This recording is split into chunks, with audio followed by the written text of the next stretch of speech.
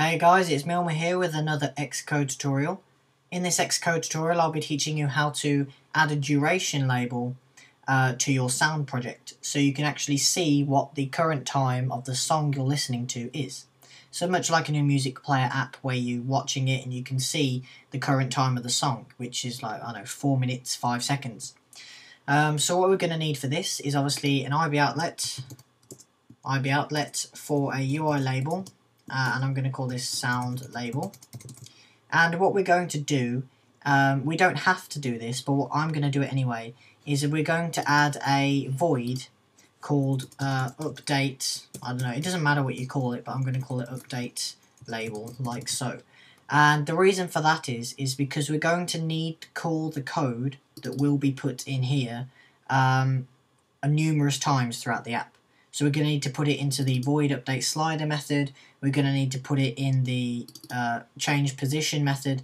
Um, so instead of copying and pasting code, we're going to store it in one universal void that and we'll then call that void. So that's why I put that there. So in the .m, we're obviously going to need to put our void here. So uh, void, and then I think it was called update uh, update label, like so. Um, so in here, I'm going to put our code. Now before I do so, I'm just going to explain briefly what we're doing. So what we're actually going to do is get our sound.current time, and I don't know if you've ever ns-logged this.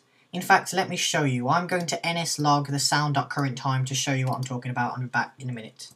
Okay guys, I'm back, and I've literally just ns-logged it or printf'd the sound.current time so you can actually see what I'm talking about. So if I click play here, you will see down here we're getting some really weird decimals and this is because the the uh, the sound.current time is splitting the actual song length up into segments um, so you can uh, so it will just split it into 100 basically so if I go all the way up to here you can see out of 167 168 169 um, so basically what it does is it prints every second of the song. So it will split every second of the song and it will give it a number.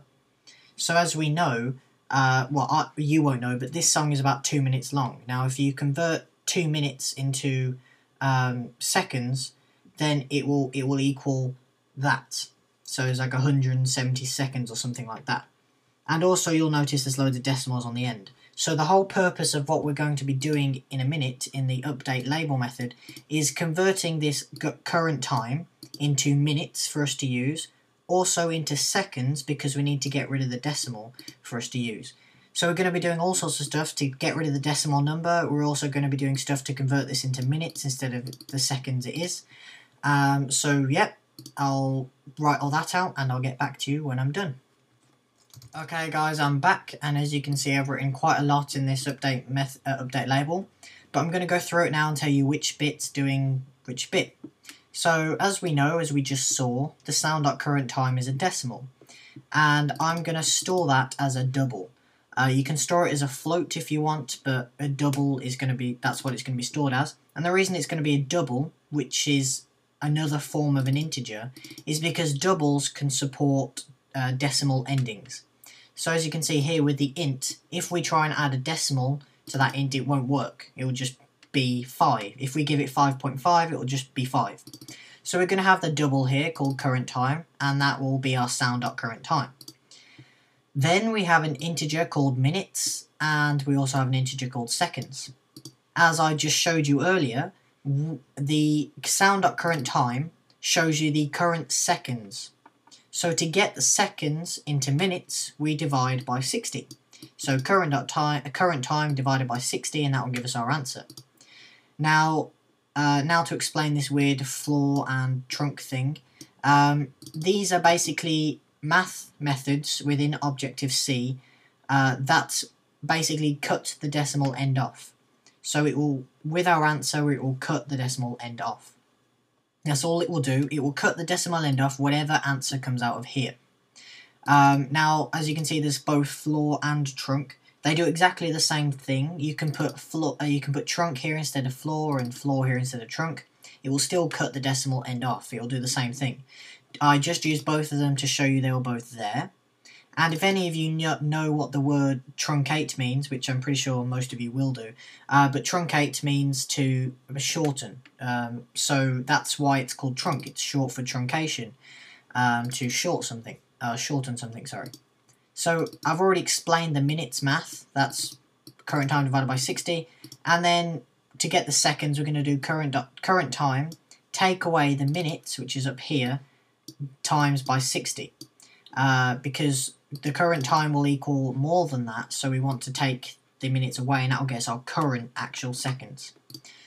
Um, so yeah, and in here, this is just setting the text of the sound label. Um, so it goes if seconds is less than 10, um, we're going to put the sound label.text to equal this and otherwise it will equal this. Now the difference between this one and this one is this little zero here. And that's because if it's less than 10, it's going to be 9, 8, 7, 6, 5. So if we don't have the zero here, it will just have the minutes and then it will have the seconds. And without the zero, it would look a bit weird just having 9 there by itself. Because normally you'll see 0, 9, and then it will go on to 10. So it has to be double figures. Um, so yeah, and then here, as you can see, it doesn't have the zero because it's already got double figures. It will look a bit weird saying 0, 11, so you don't put that there. Um, and these percent i's here are standing for an integer, so it will pass the integer method in.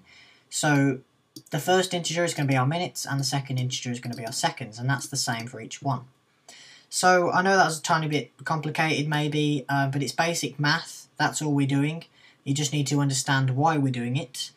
Um, so that's why I told you there. Um, and as I said, we're going to be printing this, uh, we're going to be using this method throughout our app. So we're going to need to put it in the update slider method.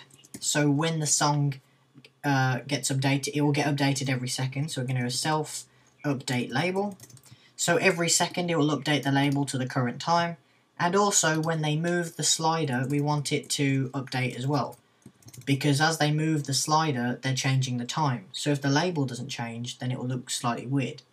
Um, and the last thing we need to do is go into the reset sound method and we need to change the sound label uh, dot text to equal uh, 0 oops 0 dash 0 0 because when they reset the sound it will go back to 0 so that's why we need to set it to 0 um, so I believe that's it. That is everything we need to do. Um, other than set it up in Interface Builder, which I've already done here, dragged out a label, connected it to Files Owner.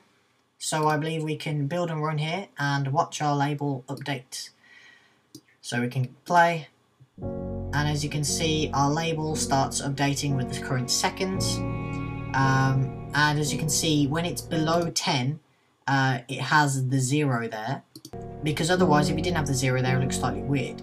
But as it goes above 10, it comes back. And let me just zoom up to a bit here, you can see as I move it around I can see the exact time I'm on, rather than it just staying still. So you can see I can drag it around here. Let me go up to about 50 so you can see it at the minutes. Can see the minutes go on. The if statement comes back into play to put the zero there.